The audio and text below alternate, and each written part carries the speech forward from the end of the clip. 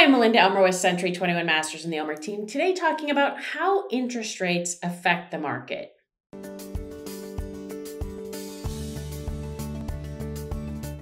Thank you so much for watching. I'm Melinda Elmer with Century 21 Masters and the Elmer team.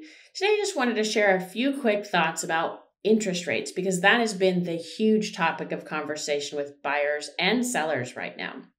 So, what effect does it have on the market? Ultimately, if the interest rate goes up, how much does that affect the buyers and ultimately the sellers? Well, the most recent interest rate increase has been one of the largest we have ever seen. We went from three, three and a half percent interest rates to uh, pretty much six in the six range at this point, depending on credit score and a number of other, other factors, of course. So, with that being said, that's almost the equivalent of a 24% price increase in a very short 90 day period. Last year in our market, we saw a 16% increase in prices.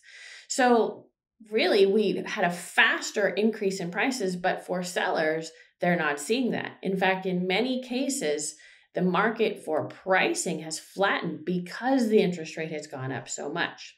So, for example, someone who could afford a million dollar home 90 days ago could now only afford 800,000.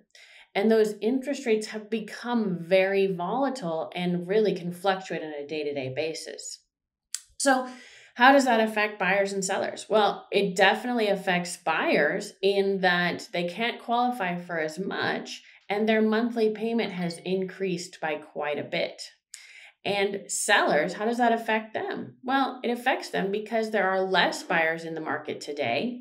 So those buy those same buyers, whereas 90 days ago we may have seen 50 offers on a property, today we may only get one or two or none if the property is not priced correctly.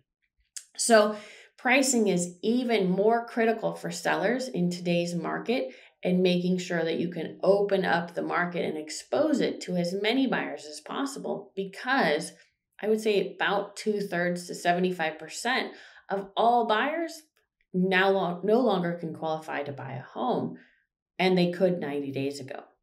So it's really critical to make sure that buyers are pre approved prior to going to see homes. And we are definitely checking on a regular basis to see if those numbers change just this past week, interest rates actually went back down just a hair, but they may be raising interest rates again later this month.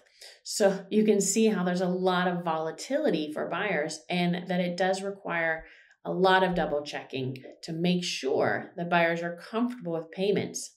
And then ultimately, sellers as those interest rates continue to rise, may see more softening of prices because the payment is just going up higher, and most buyers are payment driven.